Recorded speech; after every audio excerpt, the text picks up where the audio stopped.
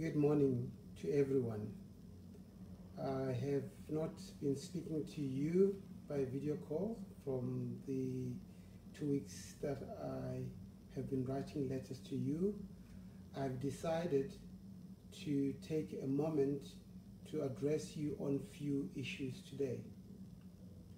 I hope um, that you are doing well, uh, but I also understand that many of us are currently struggling um, because many of the practices are not operating. By the way, today I'm wearing my hat not for the same reason that I gave you the last time. I'm wearing my hat because my hair has grown very tall and I am not able to cut my hair uh, since I cannot travel to a barber shop or anything like that. So my hair looks like I am Samson at SADA. Um, yesterday, the president has given us an indication of where the government's thoughts are in terms of easing the lockdown. More importantly, uh, he has um, indicated the five phases uh, that are to govern the smart lockdown.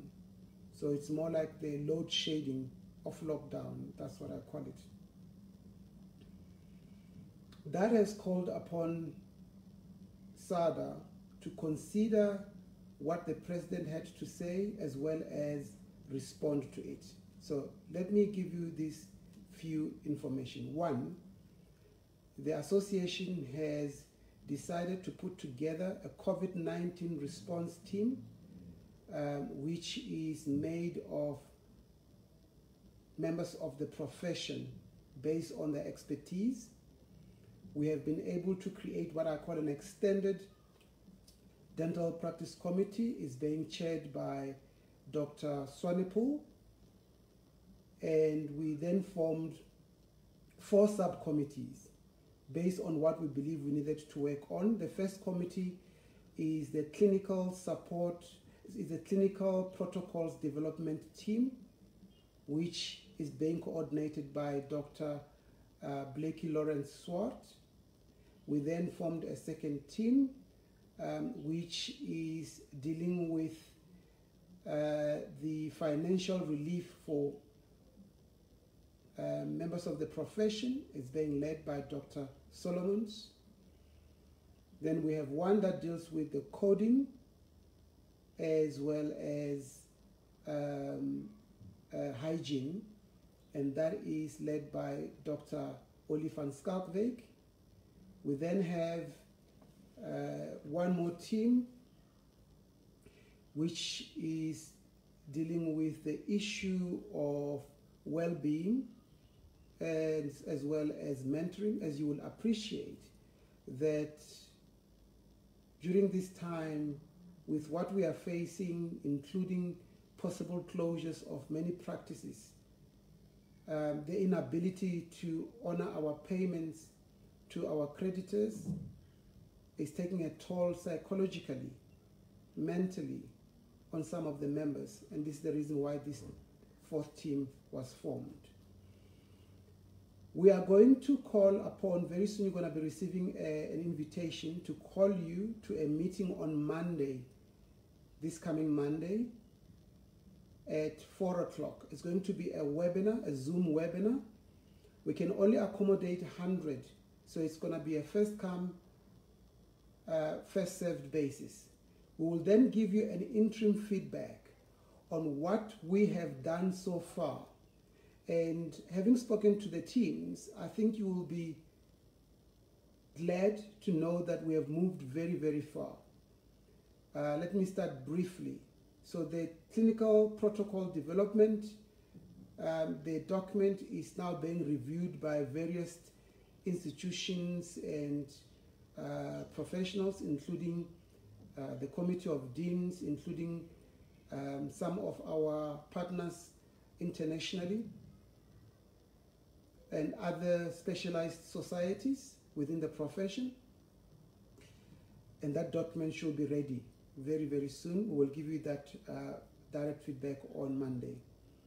What I do want to indicate, because I've received many calls already this morning, or in WhatsApps and emails, is that yes, we are aware of the five phases. We have expected that to happen. So the document that we are going to finally release will actually include the five phases. We are going to try and give guidance as to what is it that can be done in dentistry in all those five phases. We obviously want to ensure that the profession gets back to work. Um, the, 20, the, the, the, the few days that we've been on lockdown, the month plus, has been very devastating indeed. Very, very devastating, and we understand that. I must tell you that the people that are working on these protocols understand this very, very well. And they are addressing most of those issues that you have written to me and some of the issues that maybe you have not even thought of. The financial relief resourcing team um, has taken time to look at ways and places where you can get relief.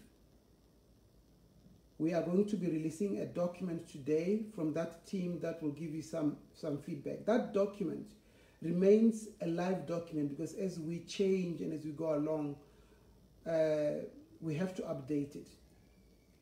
The coding and hygiene team is working on what the standard and the benchmarking of the PPE, as well as how do we deal with the increased cost of having to apply this PPE because as you would understand, it does not, it's not accounted for in the current pricing from the third party funders. And we need to deal with that and engage with the third party funders to actually come to the party and allow us to charge for that PPE in the way that it's required. Another issue is between patients, there is going to be downtime. We need to find a way to actually deal with that as well.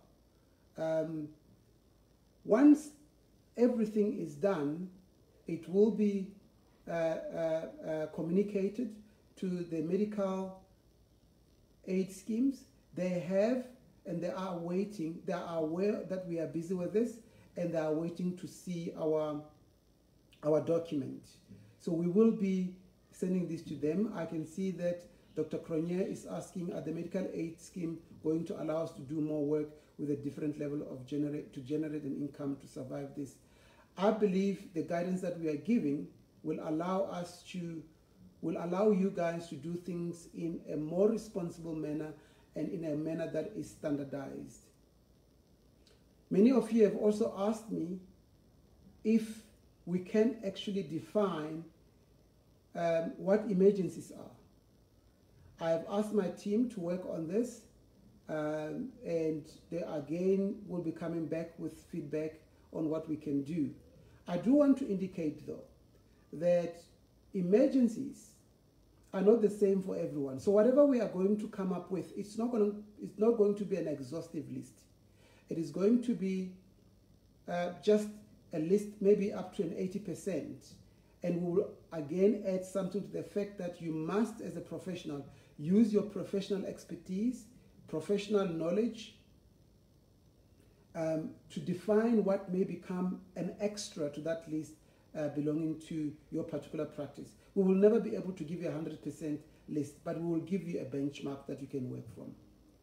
I hope that will assist many of you.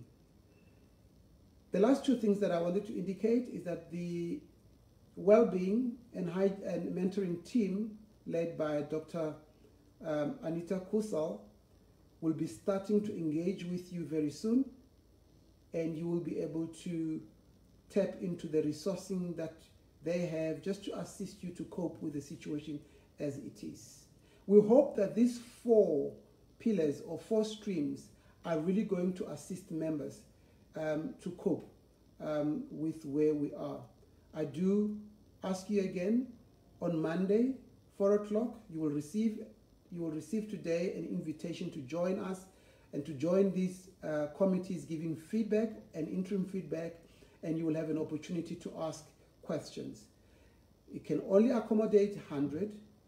And if you cannot get in for whatever reason, um, the webinar is going to be posted on the SADA website so you can actually download or view or listen to it online immediately after we finish. I see uh, Dr. Dirksen is asking periodontal practices, can they begin work on the 4th? I would like you to also um, uh, wait until we have given you the feedback on Monday um, so that we have covered all the bases. I'm not able to give you that feedback today. Um, and Dr. Cronje is asking again, will DP uh, also adjust our indemnity during the different levels? Part of uh, the members of this team is actually Alistair McKelvey. I've asked him to join. So these type of issues are going to be uh, taken care of. And you can ask that question to him as well on Monday. He will be there. But we are looking at all bases to ensure um, that it's covered.